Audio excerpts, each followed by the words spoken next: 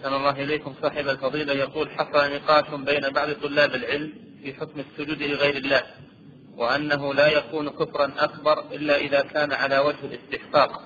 فإذا سجد لأجل رغبة بالمال أو بالمداهنة فهذا من الشرك الأصغر. هل هذا القول صحيح؟ هذا قول باطل.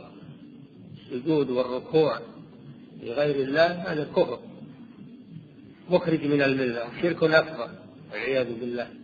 لأنه صرف نوعا من من أعظم أنواع العبادة لغير الله وهو الركوع والسجود.